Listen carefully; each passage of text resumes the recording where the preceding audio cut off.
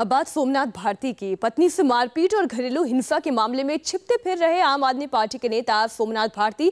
High court से दो दिन की राहत मिलने के बाद कल देर रात अचानक दिल्ली के द्वारका थाने में पहुँचे। सोमनाथ भारती ने यहाँ पत्रकारों को अपनी सफ़ाई दी। खास बात यह है कि अपनी बेगुनाही साबित करने के लिए सोमनाथ थाने में अपने डॉगी को भी साथ लेकर आए थे। अरे भाई, काटो काटो। हेलो। देखो, काट रहा है। अगर आप सोच रहे हैं कि सोमनाथ भारती अपने पेट डॉग से मीडिया वालों को डराने की कोशिश कर रहे हैं तो हम आपको बता दें कि ऐसा नहीं है। दरअसल सोमनाथ भारती मीडिया वालों को दिखाने की कोशिश कर रहे हैं कि उनका कुत्ता किसी को काटता नहीं। अरे भाई काटो काटो। हेलो। देखो काट रहा है। दरअसल घरेलू हिंसा के आरोपों में फंसे आम आदमी पार्टी के नेता सोमनाथ भारती को मीडिया वालों को यह सबूत इसलिए देना पड़ रहा है क्योंकि उनकी पत्नी ने उन पर मारपीट के साथ साथ कुत्ते से कटवाने का भी आरोप लगाया है। इसलिए सोमनाथ भारती अपने कुत्ते को साथ लेकर द्वारका के थाने पहुँचे थे, जहाँ उन्होंने मीडिया वालों के सामने ऐसा तमाशा किया।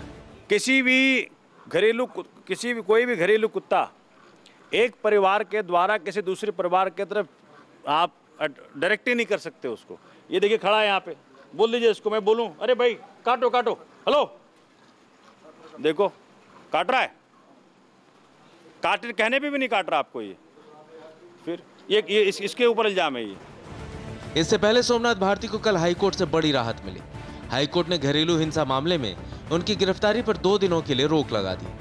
राहत मिली तो सोमनाथ रौब दिखाने रात के दो बजे थाने पहुँच गए। सोमनाथ भारती ने उत्तरी द्वारका के थाने में तीन पन्नों का लेटर सौंपा जिसमें लिखा कि वो दिल्ली में ही मौजूद हैं और किसी भी पूछताछ के लिए तैयार हैं। दरअसल थाने आना भी सोमनाथ के लिए मजबूरी थी क्योंकि पुलिस जगह जगह उनकी तलाश में छापे मार रही थी। आज बताया कि आगरा में इन्होंने छापा मारा है पाकिस्तान में छापा मारा होगा। कहाँ कहाँ छापा मारा है? और बड़े बड़े वो सुना कि एटीएस के लोग गए थे एंटी टेररिस्ट स्क्वाड उसके लोग गए थे ढूँढने के लिए मुझे। ऐसा कौन सा हमने बड़ा पाप कर दिया? सोमनाथ भारती ने आरोप लगाया कि उनके पीछे गृह मंत्रालय पड़ी हुई है। जिस कदर से इसमें गति है पूरे प्रोसेस के अंदर। और जिस कदर से मेरे घर का मेरे ऑफ़िस का मेरे दोस्तों के घरों का मेरे सपोर्टर्स के घरों का मेरे लीगल क्लाइंट्स हैं उनको फ़ोन कर कर के पुलिस ने थाना आने को बोला है।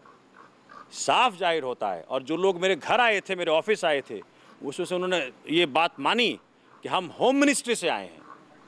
तो होम मिनिस्ट्री से लोग इन्वॉल्व हैं। किसी भी एलिगेशन में तनिक भी तथ्य नहीं है। मेरे पास ऑडियो एविडेंसेस हैं डॉक्यूमेंट्री एविडेंसेस हैं, मैं आपको भी दे दूँगा।